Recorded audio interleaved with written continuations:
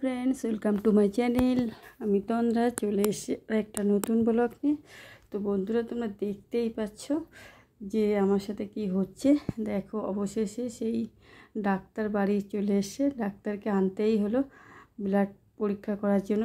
তো তোমাদেরকে অনেক দিন আগেই বলেছি, আমার শরীর খারাপ মানে জ্বরটা কমছেই না। তো ডেঙ্গু আর মানে হয়েছে কি না তার জন্যই আর কি রক্ত নিচ্ছে। তো ইঞ্জেকশন ফোটাচ্ছে, খুবই লাগছে। মানে অনেক দিন পর আর কি ইঞ্জেকশন ফোটানো হচ্ছে। মানে অনেকটা ব্যথাও লাগছে। কিন্তু কিছু করার নেই আর সব। মনে হচ্ছে সব রক্তই নিয়ে নেবে। মানে ওই একটা সিরিঞ্জ দু, অনেকগুলোই পরীক্ষা করবে। সেই জন্য অনেকগুলো, অনেকটাই রক্ত নিচ্ছে। তো ওটা বেল, ওই কী বলে ওটা কি প্লাস্টিকটা যে এমনভাবে বেঁধেছে, খুব লাগছে ও আমার। তো বন্ধুরা, রক্ত নেওয়া হয়ে গেছে, আমাদের সকালে খাওয়া দাওয়া হয়ে গেছে। তো আজকে ওর বাবা বাড়ি রয়েছে, ডিউটিতে যায়নি, তো বলছে মাংস রান্না করতে, তো নিয়ে এসছে মাংস। আর আমি রাতেও বলেছিলাম যে একটু মাংস খেতে ইচ্ছা করছে, তো নিয়ে এসছে।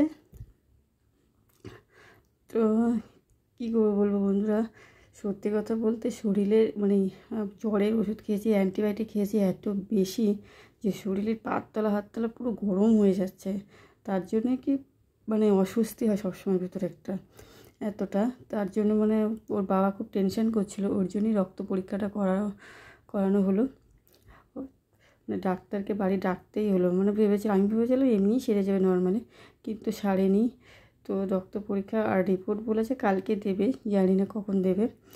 আর সবাই একটু লেটেই করে যে আজ বললে কাল দেয়, এরকমই হয় সব ক্ষেত্রেই। আজ পর্যন্ত ঠিকঠাকভাবে কেউ কাজ করে না। দেখ, আমার ক্ষেত্রে তো হয়ই না আর কি। তো চিকেনগুলো তো আজকে না অন্যভাবে নিয়ে এসছে আর কি, ওই এখন মেশিন বেরিয়েছে না, উপরে সেই লোম তুলে তারপরে থাকে গায়ে আর কি, চামড়া জ্বালানো থাকে, সেইভাবে নিয়ে এসছে আজকে মাংসটা। বলছে, ও বলছিল, আনতে আমি কি নিয়ে আসো তাহলে? অন্যদিন মানে চামড়া তো থাকে না, আজকে নিয়ে এসছে ওইভাবে কেটে। তো দিয়ে রান্না করে খেয়ে দেখে, আর আমার পেঁয়াজ খেতে খুব ভালো লাগে আর কি। এইভাবে। তো এই জন্য পেঁয়াজ দিয়ে দিলাম।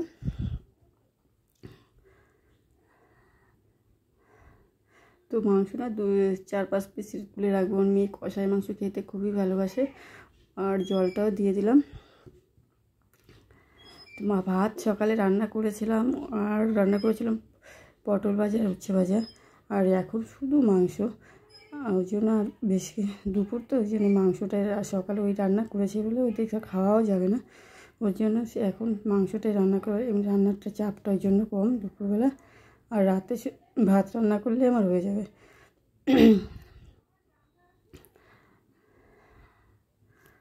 তা আজকে আর কি বেশি কাজ করব না। তো পরে না ভেবেছিলাম একটু কাজ করব, কিন্তু শরীরটা আর পাচ্ছে না মানে এতটা শরীরটা খারাপ যে আর পাচ্ছে না। আর অনেকটা রক্তও নিয়ে গেছে। আর রক্ত না পরীক্ষা করালে হচ্ছিলও না। খুব টেনশানে ছিলাম, আমিও ছিলাম। আমার টাইফয়েড হয়েছে, না ডেঙ্গু হয়েছে ম্যালেরিয়া হয়নি, কিন্তু ম্যালেরিয়া আসলে কাঁপিয়ে কাঁপিয়ে জ্বর আসে। সেই জ্বরটা আমার আবার আসছিল না মানে ভিতরে ভিতরে জ্বর ছিল। সেই জন্য আমি ভাবছিলাম যে ম্যালেরিয়া আমার হয়নি, হয়তো ডেঙ্গু না টাইফয়েড হয়েছে। তা রান্নার পরে এই যে বাসন হয়েছে, আর এই বাসনটা আমি রান্নার ফাঁকে ফাঁকেই নিজে নিয়েছিলাম। আর এই পাপোশগুলো অনেক দিন হয়ে গেছে, সেই দুই তিন দিন হয়ে গেছে। শরীরটা ভালো নেই বলে আর করিনি। আর এটা এক্সট্রা পাপোশ ওটা পরে, এখানে থাক, পরে তুলে রাখব। আর এইগুলো নিয়ে যাই। তো আমার পাপোশে তো কভার করাতে হয়। বিশেষ করে আমার রুমটা আর রান্নাঘরে, কারণ এই দুটো রুম না বেশি ব্যবহার করা হয়। আর অন্যগুলো রুমগুলো একটু কমই। মার রুমটা যেমন কম ইউজ করা হয়। আর রান্নাঘর আমার সবসময় বেশি ইউজ করা হয়। তো ওই জন্য পাপোশে কভার লাগিয়ে রাখি। এটা সব মানে এত মোটা থাকে তো ধুতে তাই একদিনে শুকায় না। যেমন এইগুলোই ধুয়েছে একদিনে শুকায়নি। তো সব ঘরে ঘরে দিয়ে দেবো পাপড়গুলো।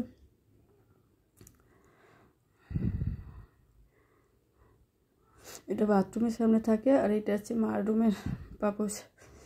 আর রান্না হয়ে গেছে, কাজকর্ম। মেয়েও স্কুল থেকে চলে এসছে, তা উনি নিচে বসবে না।